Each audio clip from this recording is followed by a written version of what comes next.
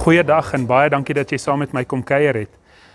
In die Katolieke Kerk werk dit so dat wanneer daar 'n nuwe paus aangestel moet word, wanneer daardie tyd aanbreek, dan kom al die kardinale van die Katolieke Kerk bymekaar in 'n vergadering wat bekend staan as konklaaf. En tydens hierdie konklaaf kies hulle dan nou 'n paus tussen al daardie kardinale.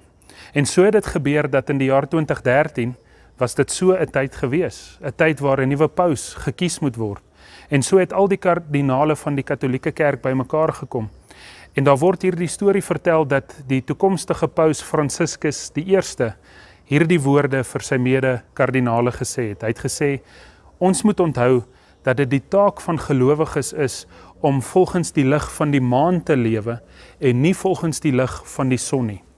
Nou wat het die toekomstige paus Franciscus met hierdie woorde probeer sê?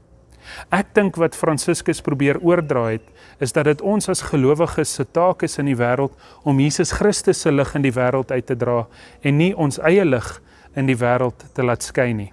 Dit is eintlik ons roeping om Jesus Christus se lig in die wêreld te weerkaats en uiteindelik probeer sê dat wanneer dit nie meer gaan oor Christus se lig nie, dan is dit chaos. Dan is ons eintlik besig om afgode te skep en is ons eintlik besig om onsself op die troon te plaas wat eintlik Jesus Christus sin is as die volwaardige koning van die wêreld. En eintlik het Paus Franciscus niks niets gesê nie. Hy het eintlik net probeer herhaal wat Paulus 2000 jaar terug gesê het.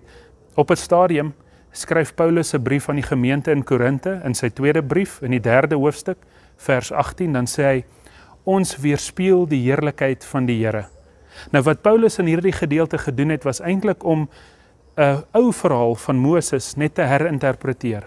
Ons almal ken eintlik die verhaal. Moses wat 'n ontmoeting gehad het met die Here en sy gesig het so helder geskyn dat hulle 'n sluier oor sy gesig moes sit sodat die volk Israel hom nie sou sien nie. Maar wat Paulus hier doen is eintlik om hierdie verhaal te herinterpreteer en vir ons te sê dat dit ons as gelowiges se taak is om Christus se lig in die wêreld te gaan weerkaats, te gaan weerspieël. En dit het my laat wonder. Hoe lyk die lig wat ek en jy in hierdie wêreld skyn? Skyn ons ons eie lig? Plaas ons onsself op die troon wat eintlik Christus in is? Of weerspieël ons die heerlikheid van die Here? Weerkaats ons Christus se lig in die wêreld? Skyn ons ietsie van Christus of die lumens van Christus se liefde en genade in hierdie wêreld uit? Nou mag ek en jy in hierdie dag en in die komende week wat voorlê ietsie van sy lig in hierdie wêreld gaan uitdra en mag dit ons bevry om te weet dat ons nie die bron is van daardie lig nie. Christus is. Ons is eintlik maar net die mense wat die voorreg het om daardie lig in die wêreld uit te dra. Hemelvader, baie dankie dat U in elkeen van ons se harte leef deur U Gees.